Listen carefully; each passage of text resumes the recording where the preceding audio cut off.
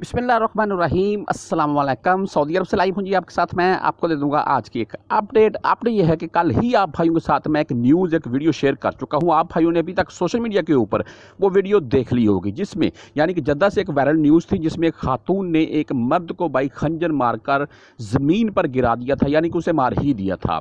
اس کے متعلق ابھی بھائی سوشل میڈیا کے اوپر سعودی وزارت داخلیہ کی طرف سے مکمل تفصیلات شائع کی جا چکی ہیں۔ یعنی کہ پہلے تو یہی سوچا جا رکھا تھا کہ کہ یہ بھائی کو دونوں خارجی لگتے ہیں اور خاص کر مرد ڈریسنگ کے لحاظ سے تو کوئی خارجی ہی لگتا ہے۔ ان دونوں میں کسی ویزے کو لے کر، کسی بھائی آپس میں لین دین کو لے کر یا عاشق مشوق والا بھی چکر ہو سکتا تھا۔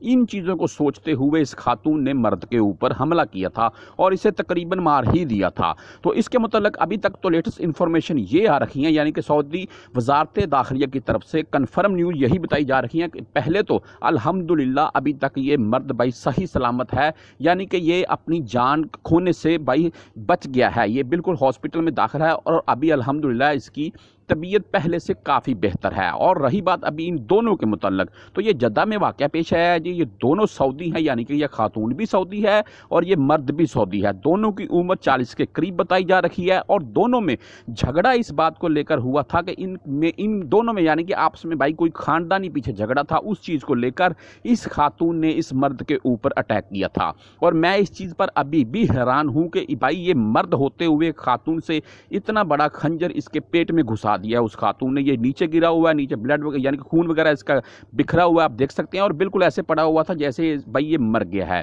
لیکن الحمدللہ یہ تو بچ گیا ہے، لیکن میں ابھی بھی سوچ میں ہوں کہ یہ اس خاتون کی جس کی عمر چالیس کے قریب بتائی جا رہی ہے، اس کی اتنی ہمت بائی کہ اس نے ایک مرد کے پیٹ میں اتنا بڑا خنجر گھسا دیا ہے۔ باقی آپ بھائیوں کو اس کے متعلق کچھ بھی اور علم ہو تو مجھے کمیٹ میں بتا سکتے ہیں تاکہ بھائی میرے علم میں بھی اضافہ ہو سکے۔ تب تک کے لیے اللہ حافظ۔